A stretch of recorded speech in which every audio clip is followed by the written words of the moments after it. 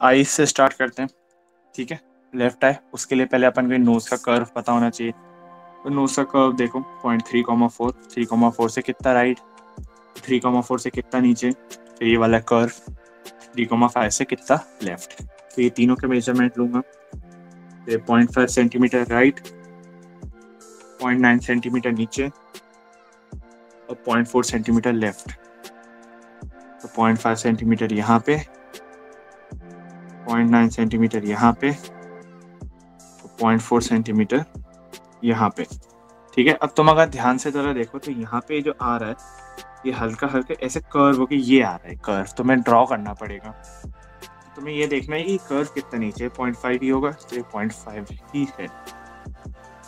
ठीक है, अब तुम ये धीरे ऊपर उठते हो, यहाँ जाते हो, फिर ये आईब्रो का जो कर्व है, वो इस पॉइंट से कितना नीचे है?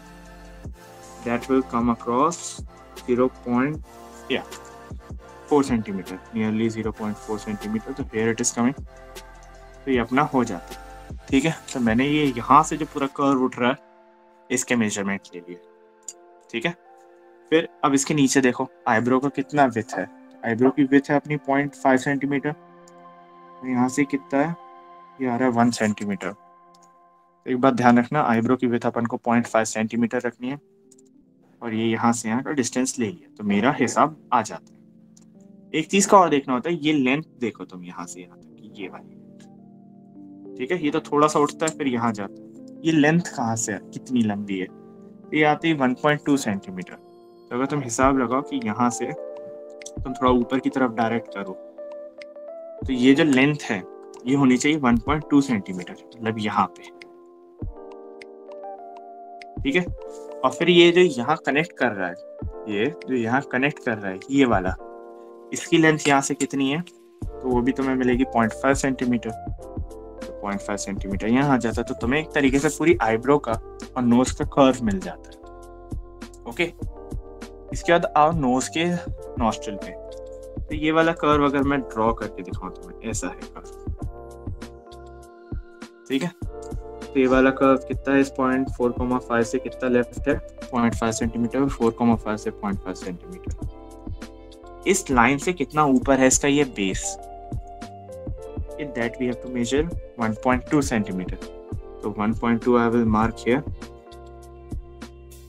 ठीक है? इस तरीके से। और ये थोड़ा सा ऊपर जा रहा है। तो मेरा आ जाता है। नॉस्ट्रिल का बसता है। तो नॉस्ट्रिल का यू नो कि कैसे स्टार्टिंग पॉइंट और एंड पॉइंट निकालते हैं। स्टार्टिंग पॉइंट अपन ने देखा, ये है। 1.7 सेंटीमीटर ऊपर है, ठीक है? और 1.2 सेंटीमीटर राइट है। तो 0.2 सेंटीमीटर राइट करो और 1.7 सेंटीमीटर ऊपर तो यहाँ पे आएगा। ठीक है? एंड पॉइंट ये होता है, ये वाला। इसका मेज़रमेंट निकालो। तो नीचे से कितना ऊपर है? 1.5 सेंटीमीटर और इस लाइन से कितना? पॉइंट नाइन तो 1.5 सेंटीमीटर यहाँ आता है, अपना। और पॉइंट नाइन सेंटीमीटर आता है यहाँ। तो बेसिकली तुम अगर जब ड्रॉ करोगे, तुम्हारा देख सकते हो थोड़ा फ्लैट आता है, आगे की तरफ़, और फिर ये नीचे की तरफ़ आ जाता है एकदम से। और ये हिस्सा नीचे कर्व्स में आता है। तो ये होती है तुम्हारी नॉस्ट्रिल ठीक है?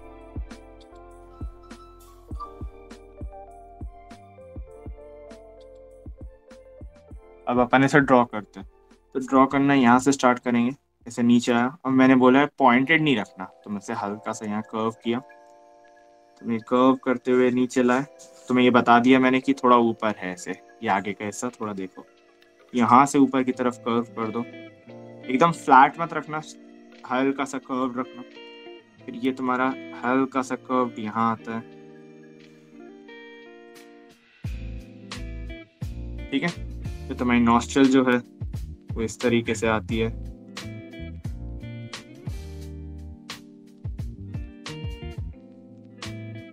हो गया। बढ़िया। अपन ने जो नॉस्ट्रल है, वो यहाँ बना लिया। फिर आईब्रो आते हैं। तो आईब्रो देखो, यहाँ से तुम्हें ऐसे थोड़ा नीचे की तरफ़ कनेक्ट करना और फिर यहाँ जाना है। फिर यहाँ तुम्हें ऐसे नीचे की तरफ़ कनेक्ट करते हो तुम्हें पता है यहाँ पे तो तुम्हें इन दोनों पॉइंट्स को कनेक्ट करते हुए जाना है। ठीक है? तो इस तरीके से अपनी लेफ़्ट आईब्राउ और नोज़ बन जाती है। तो पहले इतना बनाओ, ठीक है?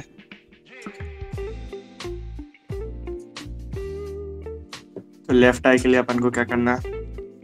ठीक है अपन ने जो ये मेज़रमेंट है तो मैं दो एरिया दिख रहे हैं डार्क और एक वाइट तो तुम्हें यूजुअली लेना जो वाइट एरिया दिखना ना ये वाला, इसके मेजरमेंट्स लो। तो ये थ्री कॉमा फोर से कितना लेफ़्ट में वाइट अपना पॉइंट एट तो पॉइंट एट सेंटीमीटर हियर कितना ऊपर है? ठीक है, कितना ऊपर है? और जो हाईएस्ट पॉइंट है वो कितना? तो हाईएस्ट पॉइंट है पॉइंट फोर सेंटीमीटर और यहाँ पे कट कर रहा है पॉइंट थ्री पे। नीचे भी सेम थिंग लोएस्ट पॉइंट है पॉइंट टू पे और यहाँ कट कर रहा है पॉइंट टू पे। ठीक है तो यहाँ पॉइंट थ्री पे मार्क किया मैंने और पॉइंट फोर पे ये किया। अब ये आगे तक ही आ रहा है, एकदम जस्ट इसे टच कर रहा है। ये दो दो सेंटीमीटर दो मिलीमीटर तो ये मैंने तीन से चार पॉइंट लगा लिए। अब ऐसे फ्लैट किया इसको, अपन का जो पीछे का हिस्सा फ्लैट किया। इसे धीरे उठाया। ये मैक्सिमम पॉइंट अब यहाँ से नीचे आना चाहिए। नीचे करते करते ऐसे धीरे से आया। फिर ऐसे धीरे से नीचे नीचे आया। और ऐसे। ओके तो ये अपनी जो वाइट पोर्शन है। अब तुम्हें क्या करना है? आई लैशेज ऐसे जाते हैं। एक आई की कवरिंग सी दिख रही होगी तुम्हें। तो वो बनानी है इसके ऊपर धीरे धीरे। फिर यहाँ से जो लोअर आई की जाती है कवरिंग ये बनानी है। आयरिस बनानी है आराम से। ओके? और आई ना थोड़ी हल्की हल्की अभी दे दो। इस तरीके से, ताकि तुम्हें एक आइडिया रहे। बेसिक्स ही बोल रहा हूँ, ओके? और प्यूपल बना लो। प्यूपल देखो, बहुत ज़्यादा से बड़ी नहीं बनाना बहुत छोटी भी नहीं। इतना काफ़ी है मेरे ख्याल से। ठीक है? तो लेफ़्ट आई अपनी ड्रॉ हो जाती है।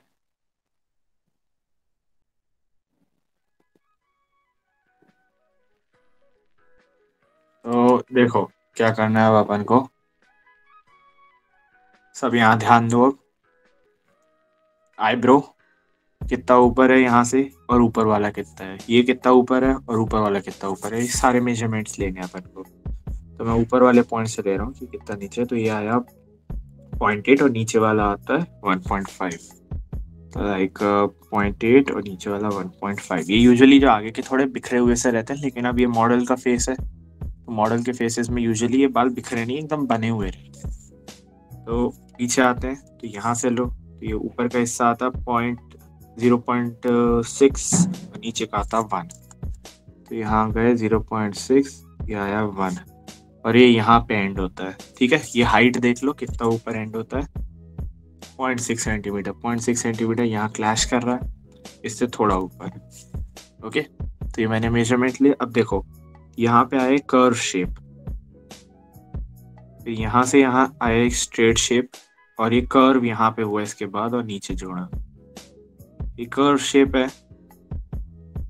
ठीक है, ऐसे नीचे की तरफ़ आ गया। इसको एक चीज़ देख के समझ में आ रहा है कि ये ज़्यादा ऊपर चला गया है, ये वाला पोर्शन ये बहुत ऊपर नहीं जाना था इस तरीके से रहना है इसे, ताकि लेवल में रहे। ओके। अब आइस का देखो, आइस का फिर मैं बोल रहा हूँ, तुम या तो बाहर का पॉइंट पकड़ो, जो ब्लैक वाला पोर्शन है अंदर का पकड़ो, जो व्हाइट वाला पोर्शन है। ओके? तो मैं टिप का मेज़रमेंट निकालूँगा तो टिप है मेरा पॉइंट 1.6 सेंटीमीटर। तो 1.6 सेंटीमीटर ऊपर है। ठीक है? यहाँ पे है मेरी टिप। तो मैं अगर वाइट वाला पोर्शन देखूँ तो ऊपर किसी लाइन को क्रॉस नहीं करता, सीधी बात यहाँ आता है। ठीक है? तो ये हुआ पॉइंट फोर नीचे वाला हुआ पॉइंट सेवन तो ये हुआ पॉइंट फोर नीचे वाला हुआ पॉइंट सेवन ओके और एंड पॉइंट थोड़ा और आगे आता है, ऐसे. अब तुम्हें एक चीज़ देखनी कि नीचे वाले से कितना ऊपर है ऊपर वाले से कितना नीचे है. तो नीचे वाले से कितना ऊपर है इसका lowest point one point nearly one point two centimetre okay तो वन पॉइंट टू यहाँ पे आएगा ऐसे, यहाँ पे है. और ऊपर से कितना नीचे ही आएगा तुम्हारा one one point one five centimetre तो इस तरीके से, बस। ठीक है तो ये पॉइंट मिल गए। तुम्हें एक हिसाब से लगाना होता है यूजुअली पॉइंट पॉइंट तो लग गए पॉइंट लगाना आसान होता है। मेन चीज़ होती है ड्रॉ करना। तो तुम ड्रॉ गलत कर सकते हो। तो तुम्हें क्या करना है? इस तरीके से धीरे धीरे चलाना है। इधर से आए मैक्सिमम तुम्हारा पॉइंट यही है। इधर से नीचे आना स्टार्ट हुआ। और बस, हो गया। फिर अब तुमने क्या किया? यहाँ पे आए। ये ट्राइंगल पोर्शन अपना टिप के लिए छोड़ा और फिर वहाँ से अपनी आई को थोड़ा यहाँ नीचे किया। और ये हो गया। फिर इस तरीके से थोड़ा जो ऊपर का जो कर्व दिख रहा है ना, ये वाला। ऊपर वाला नहीं, ये वाला। ये बनाया अपन ने। नीचे वाला जो कर्व है, ये बनाया मैंने। फिर आयरिस के लिए धीरे से कर्व किया। आयरिस का एक बार देख लेना, ऐसा ना हो कि तुम्हें लेफ़्ट वाली आयरिस ज़्यादा बड़ी लग रही हो राइट वाली छोटी लग रही हो। प्यूपल बनाया अपन ने प्यूपल का साइज़ भी सेम ही होना चाहिए लगभग।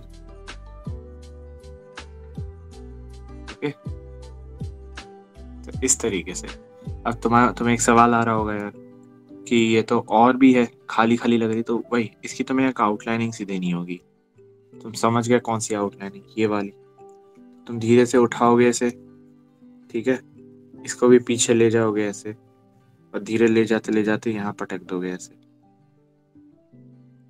तो ये वाला जो तुम्हारा जो डार्क पोर्शन है, ये ये बना लिया अपन ने ये आईलाइनर वाला पोर्शन ठीक है?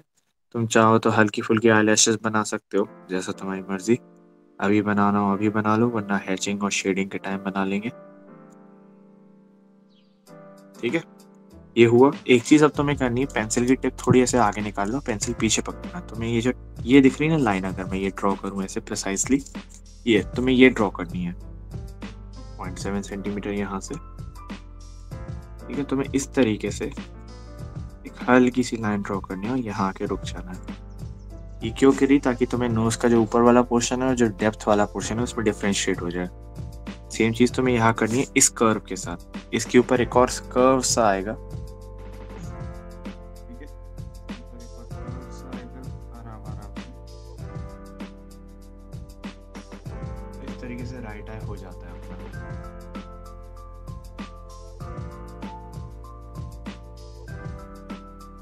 तो देखो लिप्स के लिए हल्का सा जो वी शेप दिख रहा है अपन को, ये बनाना होगा। तो वी शेप ये वाला देखो कितना ऊपर है यहाँ से इसका सेंटर पॉइंट सेवन सेंटीमीटर इस लाइन से थोड़े दूर है तो पॉइंट सेवन सेंटीमीटर मार्क किया। फिर यहाँ से कितना ऊपर क्रॉस कर रहा है? यह पॉइंट एट सेंटीमीटर तो यहाँ से थोड़ा दूर पॉइंट एट सेंटीमीटर यहाँ मार्क किया। फिर ये भी सेम आएगा। वहाँ पॉइंट एट सेंटीमीटर नहीं पॉइंट सेवन आ रहा है। यहाँ ऐसे मार्क किया। ये कितना दूर है? कितना राइट है? पॉइंट फोर आना चाहिए, थोड़ा और लेफ़्ट में, यहाँ पे। ठीक है, अब नीचे आए। नीचे आके ये पॉइंट मिलता है अपन को। Point seven centimetre. नीचे आते कितना बेस है इसका ये? Point nine centimetre. Right hand side आए। वन पॉइंट कितना है? One point four centimetre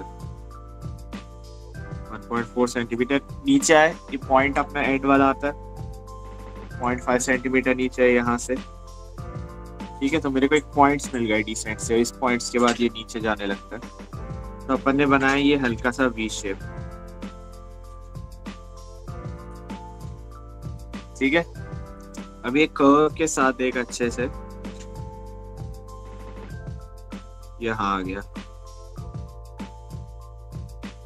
फिर थोड़ा सा ये देखना है डायरेक्ट कर्व के साथ कोई नहीं जोड़ेगा। तुम लोग गलती क्या करते हो? लेफ़्ट हैंड ये थ्री बाय फोर स्लिप्स में डायरेक्ट ऐसे कर्व करते हो। तो कर्व नहीं है। ये थोड़ा यहाँ से उठेगा।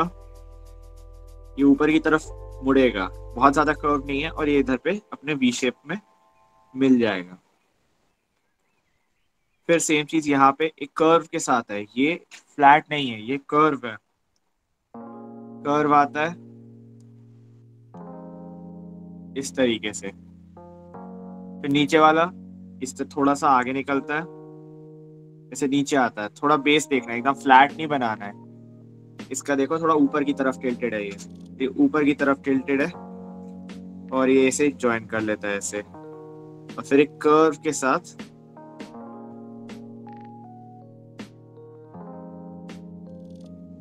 ये अपना। ठीक है? तो ये अपना हो जाता है। लिप्स वगैरह अपने ड्रॉ हो गए। ठीक है? इसे चेक करना है तो एक बार ये देख लो कि लिप्स सही आ रहा है कि नहीं आ रहा। लिप्स की विथ है फ़ूड टोटल है 1.7 सेंटीमीटर यहाँ से 1.7 ठीक है, आ गए। यहाँ से देखो 1.7 यहाँ से आए 1.6 थोड़ा नीचे और होएगा। ठीक है? तो ये अपना आउटलाइन हो गई। अब सब लोग नेक्स्ट क्लास में ग्रिड एरेज कर लेना अच्छे तरीके से। फिर उसके बाद अपन शेडिंग स्टार्ट करेंगे।